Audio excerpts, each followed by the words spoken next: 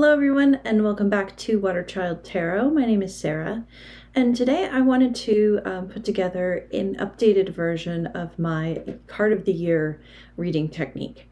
Um, now, I published a couple of videos about this last year, um, around this time in late 2021, um, and you can go back in my list of videos to see those.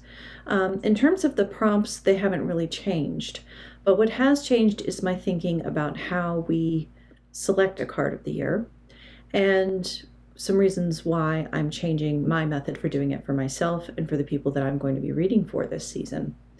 Um, so I was I've been struggling with this overall concept of tarot and astrology married together.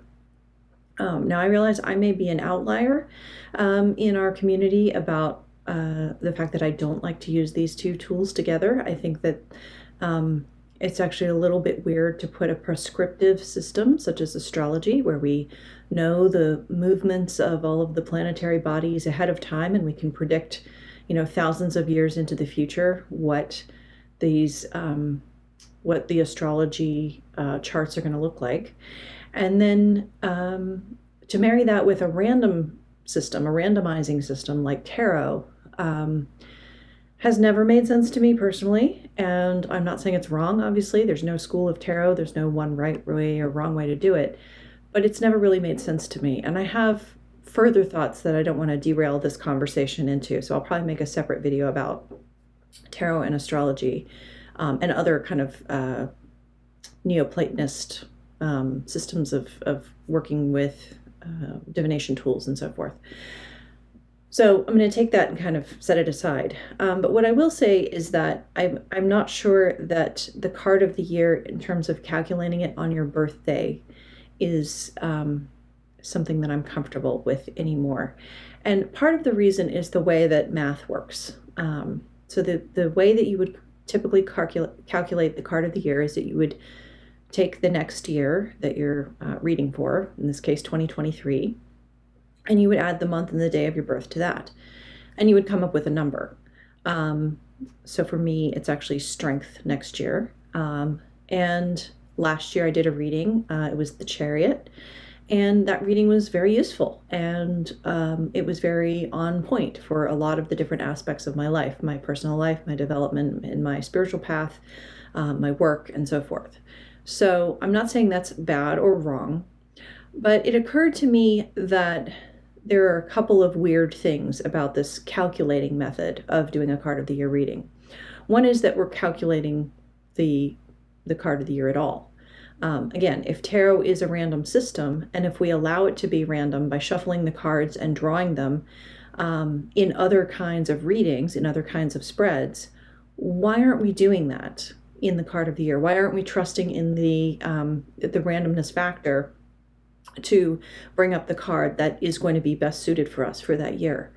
Um, it seems like we're throwing away uh, kind of tarot's valuable aspect of, of including that chance. Um, and you know, people have different perspectives on exactly what how tarot works and and why it's not really random. Um, but for me, it has to do with the concept of synchronicity. When you do a tarot reading, um, your tarot reading comes out, you get the cards that you get based on the question that you asked because um, you know there's this synchronicity between what's going on with your question and what's going on in the broader universe. That's kind of how i see it right? Um, so allowing that, that i think that's a strength in tarot because it brings up things that you wouldn't have thought of. Um, and it's not all preordained and predestined um, ahead of time. It can't really be calculated ahead of time right that's that's a good thing. So um, so that and the other thing about the card of the year, if you calculate it, is that you always go in order of the majors, right? I was Chariot last year, I'd be Strength this year, and then the next year I'm going to be Hermit energy. Um, and I just don't, you know, I've I'm in my mid 40s now, so I have some decades of experience being an adult, and I haven't noticed, you know, thinking back, and I've been thinking about this a lot, um, that my uh, life really reflects this kind of linear um, progression through the majors in that way. Um, you know, you might you might have a chariot year, you might have a, a, tower year the next year. Something you know really disruptive happens. Um, you might have a, a magician year the next year where you're learning a new skill um, that really you know plays out in, in different ways in your life.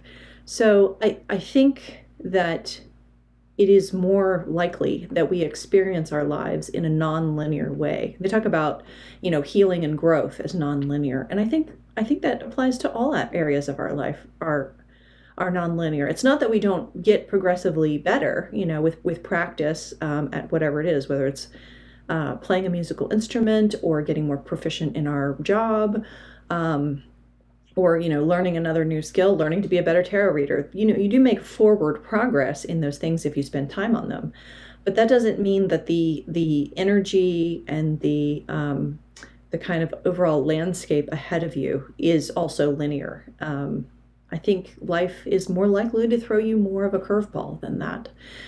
So I think for those two reasons, um, and also the fact that you can't, you can never draw a magician, a high priestess, or an empress card as your card of the year. Um, when you calculate your life path number or your birth card number, you can um, you can get those numbers because you get a reflection of a higher number that reduces down to those. But you can never draw a card of the year that is less than um, 22 that that reduces down to one. Really, you can draw. You can draw. Let's say your um, you know you, cal- you calculate your card of the year and the, and the math comes out to 10 well that's the wheel. And yes you can say okay the wheel plus the magician. But you i want one card of the year really. Um, i i don't want like pairs of cards or multiple cards or things like that. So um, that's another reason why i want this to be just a random draw and something where i can sit you know i can sit and ask a question which is what is my card of the year for 2023 what is um, you know what's what's going to be the biggest influence in my life this year? Or what kind of major arcana energy is going to be most present for me? You know you can phrase that question however you want. Um, but something along those lines. That's i want to ask the tarot question and i want to draw a card. So that's really the change that i'm making and i'm going to be blending that um, when i read for others i'm going to be blending that with their own birth card and also the card of the year of the year. Um, the the global card of the year, if you will. So in 2023, you, you would add up two plus two plus three, you get seven. So we're all going to have a chariot year next year. Um, that's going to be the prevailing energy or the the underlying thread or or whatever you want to call it, the collective uh, card of the year. Um, so I think really looking at a blend between your personal card of the year, which you would draw based on a question, uh, maybe your birth year, especially if you've never kind of calculated that or thought about it, you can think about, okay, you know, who am I um, based on astrology? What's my kind of uh, default mode or core um, aspect of my personality or something like that?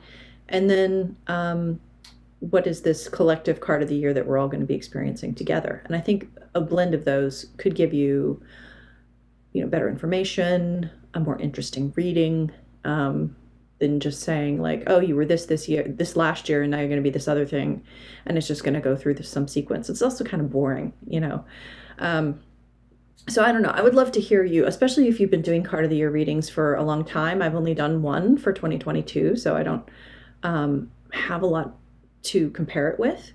Um, but if you've been doing it, you know, have you seen it like over the last five years go from you know, high priestess and empress and emperor and and hierophant? Has that really resonated with you? Or do you do you get through some sort of sequence and go you know how can i possibly be be having an emperor year this year? I'm i'm not going to be stable. I'm not going to be um you know steady. I, I'm, I'm going to be changing jobs and getting married and moving across the country you know um so so that's kind of what i'm i'm curious about is whether you've felt that in your own experience if you do card of the year readings regularly.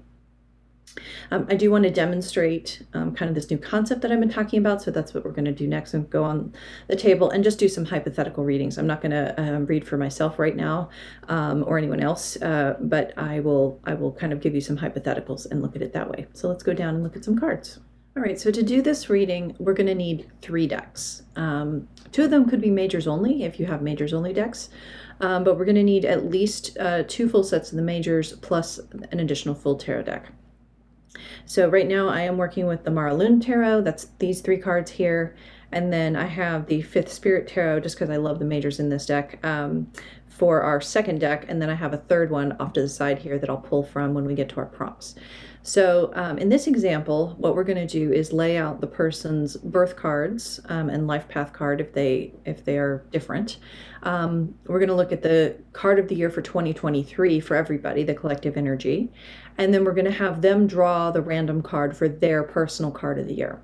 So in this example, I have someone whose birthday uh, reduces down to the number 20. So that would be their birth card, would be judgment. Um, that judgment card further reduces to two. So your life path card is any number from one to nine. And that is number, number two, the high priestess. So these top two cards are really about them as a person. Um, and then for everybody in 2023, two plus two plus three equals seven. Everyone gets the chariot card for next year as like an underlying this is the year's energy so you can talk about how those three blend together and then you would have them from another deck pick um, a, a card of the year um, and the way that I like to do that is to just fan all 22 cards out, not in order. I shuffle them first, fan them out, and have them select a card. So that becomes really their their card of 2023. And then from there, you can read these four together, and that by itself gives you a fairly rich reading. I think um, you can talk about how their person, what they bring to the table, and their kind of default personality, or you know, standard ways of operating or preferences, um, play uh, play well or not, or might be in conflict with um, this chariot energy of 2023 or whatever year you're reading for, um, and then the card that that they drew um, and how that personal card for this particular year comes into play. And so, what can you say about strength in combination with these three? I think right there you have a nice reading, um, kind of a reading within a reading. But I do like the prompts that I came up with last year for this card of the year reading. So I think those can be added on. And for that, again, you're going to need a full 78 card deck. Now, my quandary with that is do I have the majors from my my third deck? Um, this is the Inspired Soul Tarot by Julie of Peekaboo Rose. And I was thinking about setting aside the majors from this deck and making sure that I picked out any that came up here so that the answer to the four prompts is not another of these cards. For example, um, how do I apply the energy of this card I'm about to draw to this reading?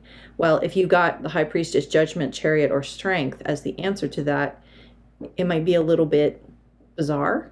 Um, but I'm kind of wondering if that's really going to happen or not. So we'll see. Um, I'm about to do a bunch of these readings for for friends, and I'm also uh, working in a shop, so we'll see if that happens. Um, I'll need to have a game plan for if that does happen. And you can let me know too um, what your experience uh, is if you decide to do this or or try it out. Um, one thing I like to do with uh, new spreads when I'm just learning them and playing around is to pick like a literary character or a fictional person or maybe even a famous person um, and do a reading around them as practice. So, you know, it's somebody that you know some characteristics about. You can kind of check yourself and see if this makes sense in, in context of what you know about this fictional person. And then um, just kind of practice with them. And that's that way it's not so high stakes. You're not doing these like readings for yourself or um, for paid clients and, and practicing on them. So, um, so yeah, so that's this is where the third deck comes in, and this is where my quandary about repeating cards comes in. So if you have thoughts about that, um, please feel free to leave a comment. Let me know what you would do. Um, so let's just go ahead and choose our four cards, and then we can kind of walk through this reading together. All right, so the first prompt is what aspect of this card of the year, and particularly the random card that they're going to be drawing for themselves, what aspect is the most important? And here we get the Ten of Cups. The second prompt is how to apply this energy. So how to apply the strength um, energy into the rest of their life and incorporate it with the rest of what's going on here. What obstacles likely to come up for them? And here we get four, the Emperor. And then um, what advice is there to face this challenge? And we get the hanged man, or the hanged one in this case, um, number 12. I forgot to mention, but the two of buttons would correspond with the two of pentacles or the two of coins in this deck. So this is a really cool looking reading, and I'm, I'm really enjoying this. Um, I have to do it this way uh, so that I can pick up all the cards on my camera, but I, I kind of like this layout actually. I was thinking about putting these four in a row across the middle and then having the other ones around, but I'm sort of enjoying this. So I might lay it out this way actually when I do it. All right, so let's stop and think for a second about this reading and see if we can walk through this. Um, to keep this relatively brief and to the point, I'm just going to focus on the strength card here. Um, I'm not going to do a lot of explanation with this um, at this demonstration, but I would probably pull in things from these three cards as well into this reading because um, sort of, you know, how we think of ourselves in the world is important whenever we're thinking about planning for the future or what's coming up. And then also kind of the overarching energy of what the year is can, can influence us. So I would probably focus on these two cards. Um, a little bit more. So the answer to the uh, what aspect of this um, strength year um, is the most important. And we get the 10 of cups and um, we think about tens as finality, or at least I do, I read sort of numerologically. Um, and this could be also an abundance card. Um, this could be about you know achieving something finishing up something important and and meeting some kind of emotional goal or something that means a lot to you that you're very emotionally invested in. So um, in order to do that uh, perhaps you can draw on strength or strength will, will get you to this point. So this could be an example where someone is finishing up a big project or they're finishing up a degree program or something like that. They're retiring from their job you know they want to celebrate um, and that that is the thing that they can kind of concentrate on or maybe they're thinking about finishing something or thinking about retirement um, and that you know that is a big change and they kind of need to look for their inner strength to accomplish that um, if this is a goal kind of card. Um, Next, we have how to apply this energy. So, how to apply the energy of, of strength in, across our lives. And I would say it's to some extent the, the chariot card as well. Um, so, this is like forward movement and then and then into kind of a more steady holding your ground kind of energy um, and the two of coins um, looks at balancing uh, things you know that's a classic kind of keyword um, here we have uh, two elements that are kind of crossed um, against each other. Um, so they're kind of providing support for one another. So here I'm getting a lot of stability, right? We have a lot of even numbers here. Um, actually, the only odd number is our chariot card from uh, the reading, the, the card of the year for 2023. Everything else is an even number. So everything's feeling very stable, very steady uh, with this reading. And so how to apply the energy is to, to weigh your options and to keep things in alignment. Um, and then what obstacle is likely to occur um, is also in that steadiness and stability. It's the Emperor card. And we think about the emperor as being that stable force, but can also be kind of stuck and stodgy. So balancing things out, working through your goals and, you know, doing the things that will bring you to a sense of emotional fulfillment or emotional closure, um, but and not getting stuck, not getting stuck along the way, not getting stuck in the process, um, but carrying that forward, um, capturing that 2023 energy and being able to move forward. Um, you know, self doubt can creep in, um, negative self talk can creep in, being too judgmental of your of yourself and of your project uh, progress can come in.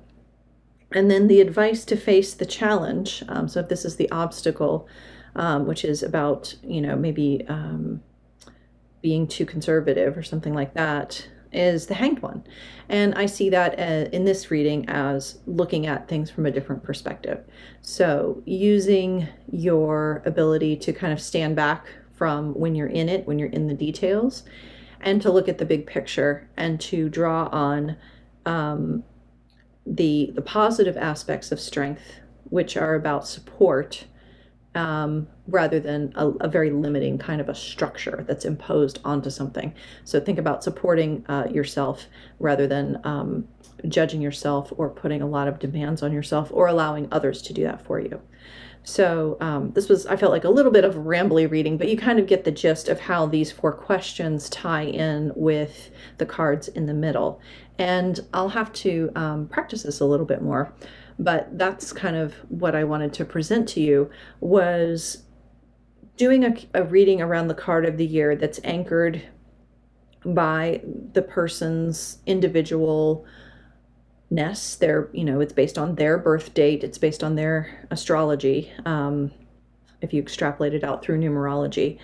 Um, but also validates the fact that there is a assigned card of the year already for 2023 and allows that random factor that again is tarot's strength um, or you could if you don't like the word random um, the personal factor that they get to actually physically choose a card for themselves for the next year. Um, i like that blend a lot. And i think it still works with the four prompts that i you know developed with this reading um, I would love to hear if you try this out. I would love to either see your demonstration reading or you can tag me on Instagram at Waterchild Tarot if you take a picture and do a description. Um, or if you just want to leave a comment below and, you know, tell me tell me how your reading went. I would love to hear more. And again, I'll be talking more about tarot and astrology in a longer video. But uh, until then, take care. I hope you all have a wonderful 2023, and I will see you again soon. Bye.